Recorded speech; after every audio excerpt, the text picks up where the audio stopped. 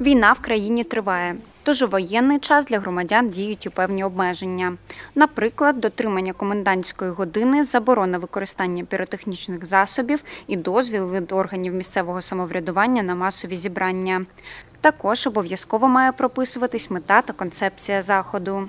організація мирних е, зборів, мітингів, походів, е, розважальних видовищних е, заходів в умовах воєнного стану можливо за виключних обставин. І, і ну, щодо організації проведення таких заходів, то вони мають відбуватися виключно за умови письмової погодження з адміністрацією е, обласної військової адміністрації. Нещодавно розголосу у соцмережах набула дискотека в одному з кропивницьких закладів. Під час святкування 8 березня у барі грала російська музика і танцювали стриптизери. За словами правника, використання російського контенту може загрожувати від штрафу до припинення підприємницької діяльності на певний період. Крім нормативно-правової бази, існують ще й моральні, е, моральні аспекти, які б е, не дозволяють пропагувати ворожу музику, ворожий контент, і це те, що нам ідеологічно е, неприйнятно. Такий формат відпочинку чимало користувачів інтернету засудили. Кризовий психолог каже, що й військових подібні розваги обурюють.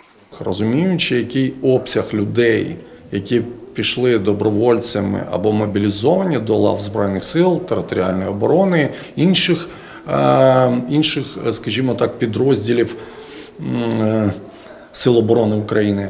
Ми маємо розуміти, що далеко не кожен це сприймає адекватно, те, що відбувається, і відповідно такі пишні святкування і так далі можуть викликати в них негативні ставлення. Святам під час війни місце є, наголошує Андрій Фоменко.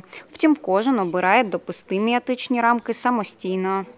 Ми розуміємо, що людям треба якесь розвантаження, хоча б з причин того, що біохімія головного мозку потребує від нас якогось, скажімо так, сплеску позитивних емоцій, яких зараз просто нема де брати, тому люди роблять спонтанно деякі речі.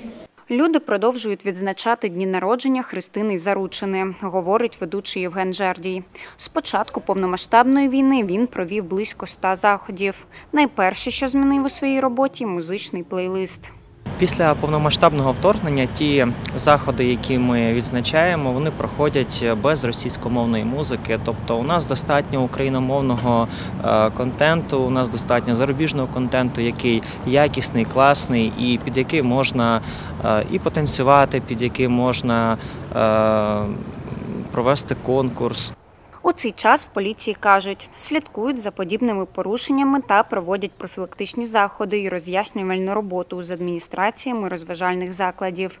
Марія Матюнькіна, Юрій Коропалов, телевізійні новини СІБІН.